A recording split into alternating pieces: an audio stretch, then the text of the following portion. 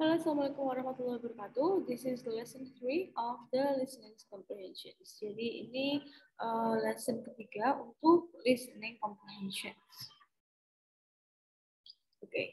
Uh, lesson ketiga listening comprehension itu ada yang namanya dialogues with idiom. Jadi nanti dalam listening itu banyak juga dialog yang menggunakan idiom. Tapi sebelum membahas lebih lanjut tentang ini, kita bahas dulu ya apa itu idiom. Mungkin ada yang lupa. Gitu. Saya cari dulu. Oh. Idiom itu apa ya?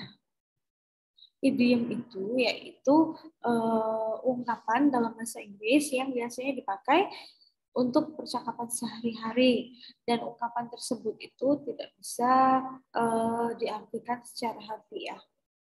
Uh, misalnya uh, kata break a leg, break a leg.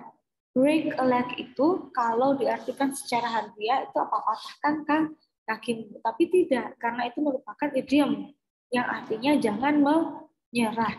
Jadi idiom itu seperti itu, ungkapan-ungkapan dalam bahasa Inggris yang tidak bisa diartikan secara harfiah. Misal seperti itu. Oke, lanjut ya.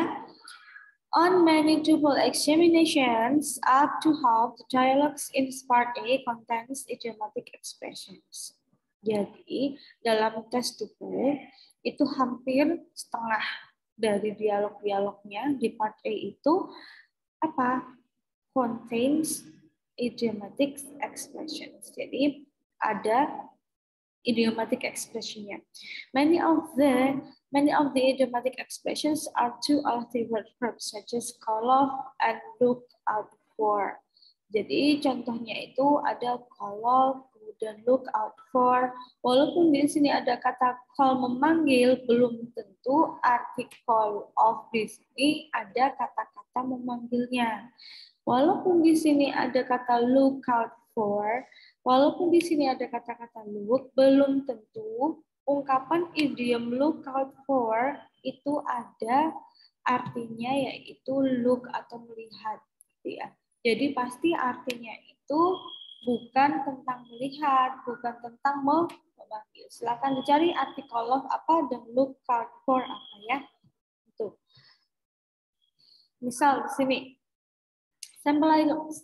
Dalam listening comprehension akan mendengar I wonder where Mike is. He'll show up as soon as the work is done. I bet.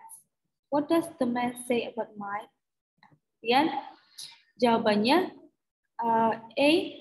He probably won't arrive until the work is finished. B. He wants to a show instead of going to work. C. He can show them how to do the homework. D. They'll probably work late today.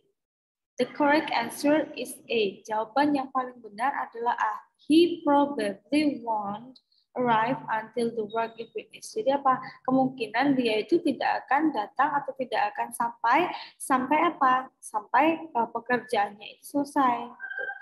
The idiomatic show up mean arrive. Jadi di sini ada kata apa?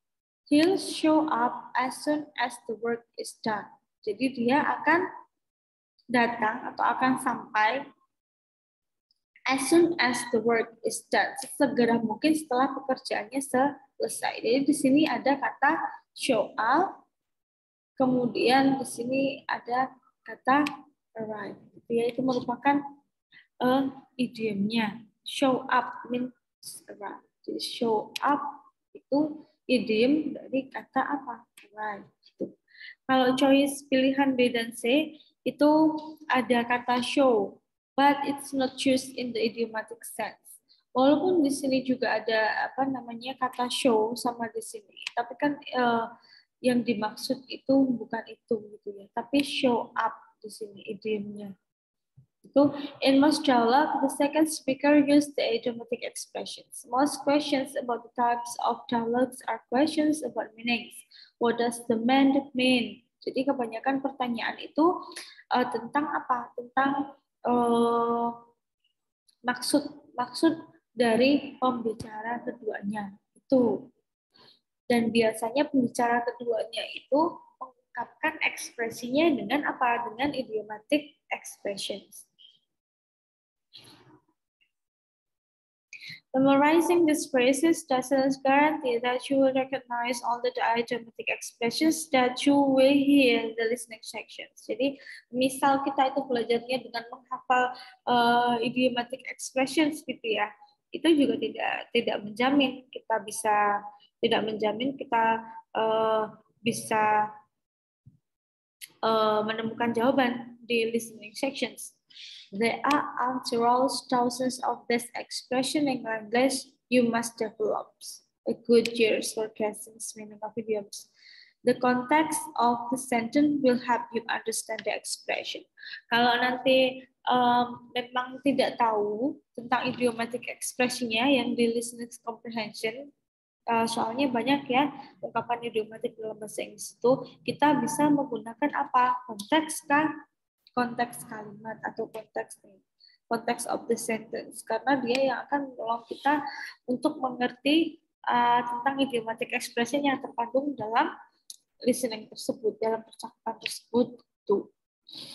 Jadi uh, misal alhamdulillah nih bisa tahu idiomatic expressionnya apa, tapi misal pun kita nggak tahu idiomatic expressionnya apa, kita harus tahu konteks of the sentence-nya.